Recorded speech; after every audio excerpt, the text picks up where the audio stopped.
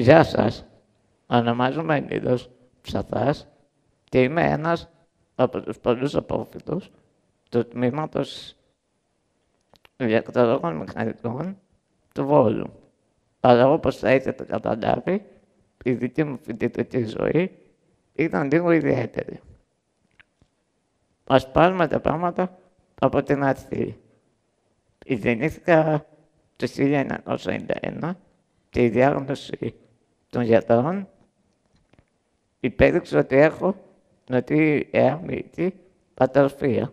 Πράγμα που σημαίνει ότι η μυς μου είναι λίγο πιο αδύναμη. Στην πορεία της ζωής μου είχα πάντα δίπλα μου την οικογένειά μου. Ό,τι εμπειρία έχω από τα παιδικά μου χρόνια, θυμάμαι να την έχω με τον αδερφό μου, καθώς και ο ίδιος είχε την ίδια πάθηση. Ως μεγαλύτερος αδερφός, πάντα με συμβούλευε στο τι να κάνω, αλλά εγώ του έλεγα ότι τι ήθελα και σ' άκουγα και δεν καταλήγαμε σε άλλο. Ένα κομβικό σημείο της ζωής μου που επέμενε να τον ακούσω ήταν όταν έκανα το μηχανογραφικό μου. Ε, ενώ η λογική μου έλεγε να μην το κάνω, η καρδιά μου έλεγε να τον ακούσω. Και τελικά είχε δίκιο, γιατί επέμενε να δεν δώσω την ίδια σχολή που ήταν και αυτός. Τελικά τον άκουσα και βγήκαν τα αποτελέσματα και ήμουν πολύ χαρούμενος που πέρασα και εγώ μαζί του. Όμως δεν ήξερα τι θα με περιμένει. Έχοντας μεγαλώσει στο χωριό, έχοντας μεγαλώσει στο χωριό, είχα μάθει ε, να έχω σε μια κλειστή κοινωνία, είχα μάθει να γνωρίζω τους πάντες και πάντα να έχω κάποιον να με βοηθήσει.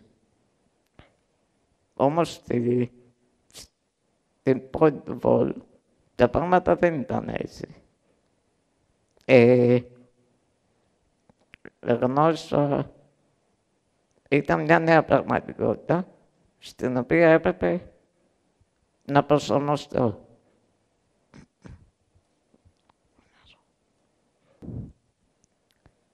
Ξαφνικά, το επίπεδο της σχολιάς στη ζωή μου αυξήθηκε και έτσι άρχισα να άθλημα. Αρχικά, την καθημερινή συνάμασοφή μου με τον παππού μου ήταν κάτι που δεν είχα συνηθίσει. Μας πήρε λίγο καιρό, αλλά μετά από λίγο γίναμε κολλητοί φίλοι και συνηθίσαμε ο ένας τον άλλο.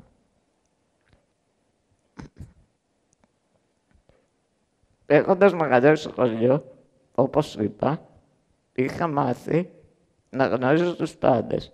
Έτσι όταν βρέθηκα μεταξύ αγνώστων μέσα στο Βόλο, δυσκολεύτηκα με αλλά όχι για πολύ καιρό.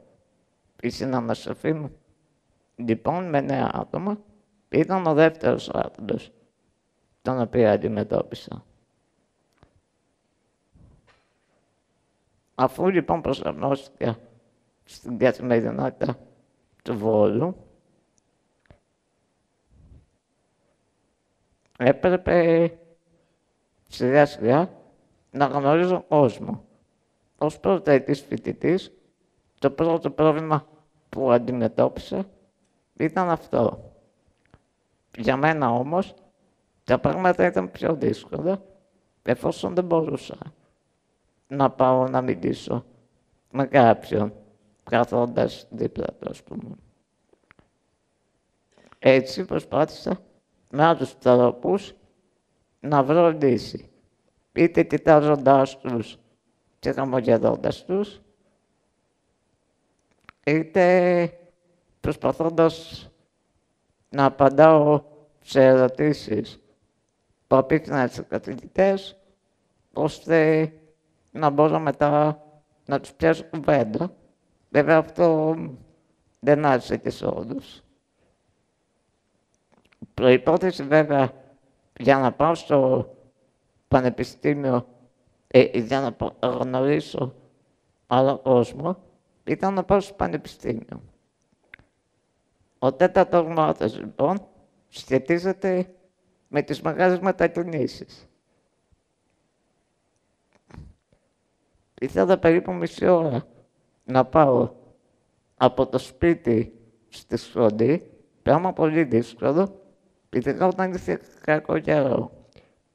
Έτσι εκείνες τις μέρες δίνομουν καλά, ή, ή δεν δίνομουν και πολύ και απολάμβανα μετά το καρύο και την ίωση μετά από λίγο, μετά από λίγο καιρό.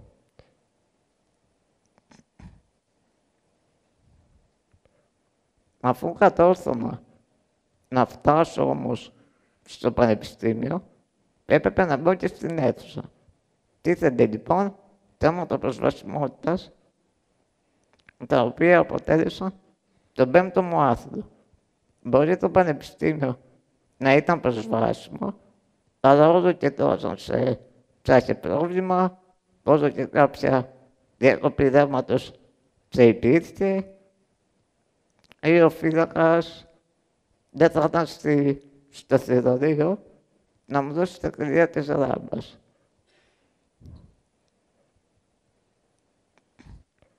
Έτσι προσπαθούσα να ξεκινάω τουλάχιστον μία ώρα νωρίτερα για να προλάβω τέτοιες κακουσίες, χωρίς βέβαια να τα καταφέρνω πάντα. Τα ωράρια της σχολής αποτέλεσαν τον έξω άθλο. Στο Λύκειο πήγαινα 8 και γύριζα 2. Στο σχολείο όμως υπήρχαν κενές ώρες ανάμεσα στα μαθήματα, τις οποίες δεν μπορούσα να γίνει στο σπίτι.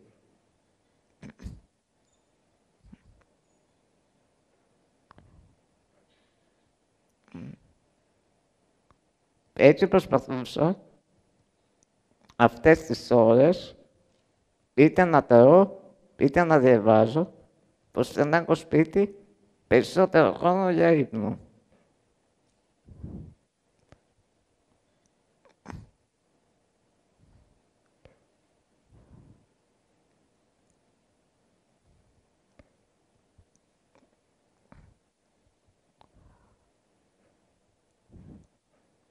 Έβδομος μου άθλος ήταν οι σημειώσεις.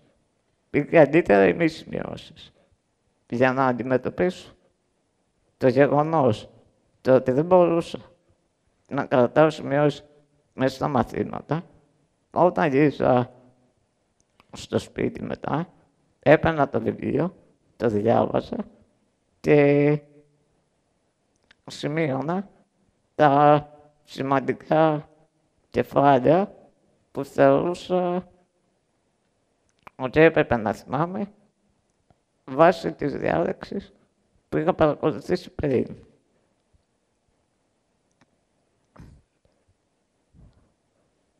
Ο όγδος άθος μου έχει να κάνει το ότι δεν μπορούσα να δώσω γραπτές εξετάσεις.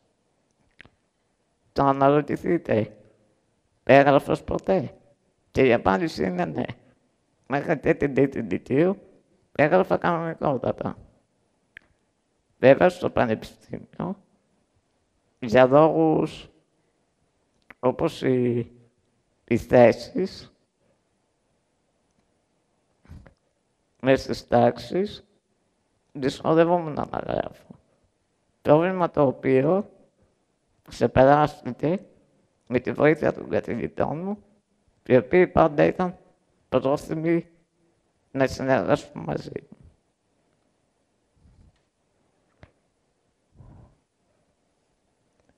Ο ένατος, ο δέκατος και ο δέκατος μάθος συσχετίζονται με τη δυσκολία του προγράμματος σπουδών και της μεγάλης απαιτής της σχολής. Για μένα ήταν τριπλά δύσκολο.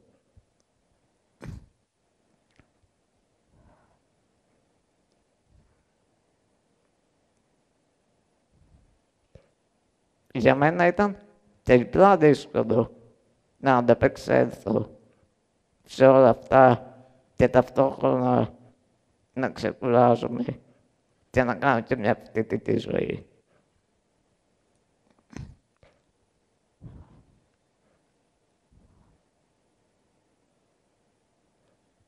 Κατάφερα να τα αντιμετωπίσω όλα αυτά τα τρία με πολλή προσπάθεια, αφοσίωση και πάνω απ' όλα όρεξη και μάθηση για ζωή.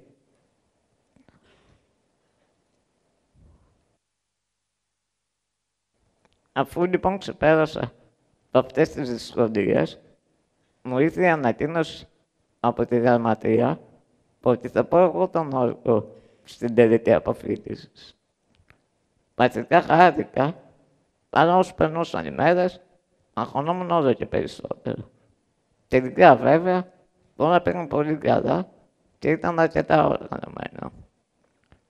Γι' αυτό τον άρθρο δεν έκανα κάτι παραπάνω παρά υπομονή και προσπάθεια για να μην δείξω αγχωμένος. Έτσι ο δωδέκατος και τελευταίος μου άρθρος ήταν ένας από τους πιο δύσκολους, αλλά και ταυτόχρονα ο πιο ευχάριστος για μένα και τα, και τα οικογενειακά μου πρόσωπα. Κάποια άθνου ήταν εύκολοι, ενώ όλοι πιο δύσκολοι. Κατά τη διάρκεια τους, ακούγα την καρδιά μου και σκεφτόμουν μόνο τον προορισμό. Προσπαθούσα να μην μένω στο τώρα και να βάζω τα δυνατά μου για να βρεθώ στο μετά. Όπου εκεί δεν θα υπήρχε το εμπόδιο που αντιμετώπιζα και τα, είχα, και τα, τα είχα καταφέρει. Ήξερα ότι θα τα καταφέρω. Θέλω οι άθλοι μου, έστω και για λίγο, να αλλάξουν την καθημερινότητά σας. Γιατί έστω και λίγο, να προσπαθήσεις, σε βάθος χρόνου, θα καταφέρεις πάρα πολλά. Εξάλλου, εφόσον μπόρεσα και τα κατάφερα εγώ, μπορείς να τα καταφέρεις και εσύ. Ευχαριστώ πολύ για τον χρόνο σας και πιο πολύ ευχαριστώ τον πατέρα μου και την Χριστιανά που αν δεν ήταν αυτή δεν θα μπορούσα να έρθω εδώ σήμερα.